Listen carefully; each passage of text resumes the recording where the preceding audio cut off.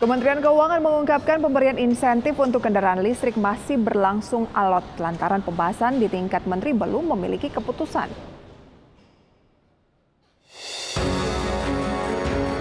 Badan Kebijakan Fiskal Kementerian Keuangan mengungkapkan terkait insentif untuk kendaraan listrik masih berlangsung alot lantaran pembahasan di tingkat menteri yang belum memiliki keputusan. Analis kebijakan ahli Media Pusat Kebijakan Ekonomi Makro BKF Kemenkeu, Rahadian Zulfadin, mengatakan pembahasan yang dilakukan oleh pemerintah tidak hanya terkait pemberian subsidi, melainkan untuk pengembangan industri kendaraan listrik ke depannya. Selain itu, pemerintah juga mempertimbangkan pembentukan iklim usaha industri kendaraan listrik ke depannya, serta kepastian hukum yang nanti digunakan untuk menjalankan kebijakan tersebut.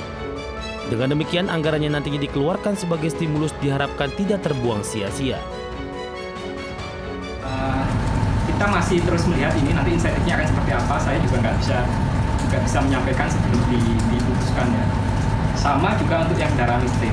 Sekarang masih dibahas di level menteri. Jadi uh, mungkin baru dua minggu yang lalu ada pertemuan di level menteri untuk membahas ini nanti insentif untuk kendaraan listrik ini akan seperti apa mobil motor kan gitu kan nah, nanti berapa besar terus insentifnya seperti apa itu sepertinya masih alot masih belum diputuskan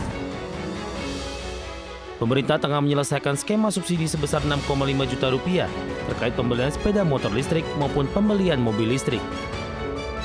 Indonesia menargetkan setidaknya sebanyak 1,2 juta kepemilikan motor listrik dan mobil listrik sebanyak 35 ribu unit pada tahun 2024. Dengan demikian dari jumlah penggunaan kendaraan listrik tersebut, setidaknya pemerintah membutuhkan dana subsidi sebesar 7,8 triliun rupiah.